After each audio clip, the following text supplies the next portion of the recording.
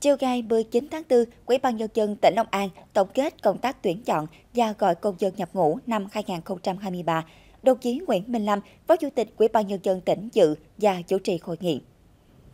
Năm 2023, toàn tỉnh có 1.601 thanh niên vào quân đội, trong đó có một nữ công dân nhập ngũ và 325 thanh niên thực hiện nghĩa vụ tham gia công an nhân dân. Với phương thức tuyển quân tròn khâu, tỉnh đã đột phá nâng cao chất lượng tuyển quân, tuyển người nào chắc người đó, tổ chức để giao quân trang trọng, chu đáo, an toàn, tạo tinh thần phấn khởi trong thanh niên và sự đồng thuận cao trong nhân dân. Chất lượng giao quân năm 2023 được nâng lên so với năm 2022, trong đó về sức khỏe loại 1, 2 đạt 95,19%, vượt chỉ tiêu trên giao, gia tăng 9,13%, về học vấn trung cấp, cao đẳng, đại học đạt 42,41%, tăng 7,57%. Cán bộ công chức viên chức trong các cơ quan đảng nhà nước tăng 0,86%, con cháu cán bộ tăng 2,31%. Đặc biệt, tỷ lệ đảng viên chính thức nhập ngũ đạt 2,31%, vượt tiêu chí quy định 1,31%. Năm nay, tỉnh tổ chức hội trại tổng quân thực sự là ngày hội để lại ấn tượng sâu sắc, tạo tinh thần phấn khởi,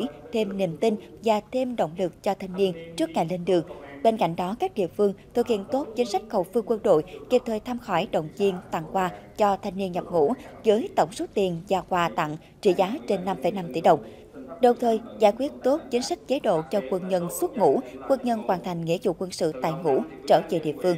Phát biểu kết luận, đồng chí Nguyễn Minh Lâm, Phó Chủ tịch Ủy ban nhân dân tỉnh ghi nhận và đánh giá cao những kết quả đạt được và yêu cầu trong thời gian tới các huyện thành phố, thị xã phát huy sức mạnh tổng hợp cả hệ thống chính trị tiếp tục thực hiện nghiêm chỉ thị của Bộ Quốc phòng, quân khu về tăng cường biện pháp nâng cao chất lượng công tác tuyển chọn, gọi công dân nhập ngũ trong tình hình mới. Hội đồng Nghĩa vụ quân sự các cấp thực hiện nhiều biện pháp tiến hành thực hiện tốt công tác tuyển chọn và gọi công dân nhập ngũ năm 2024, tạo niềm tin và sự đồng thuận trong nhân dân. Tại hội nghị có 34 tập thể cá nhân nhận bằng khen của Quỹ ban Nhân dân tỉnh và tặng cờ của Quỹ ban Nhân dân tỉnh cho nhân dân và cán bộ quyền nước hòa đã hoàn thành xuất sắc công tác tuyển chọn và gọi công dân nhập ngũ năm 2023.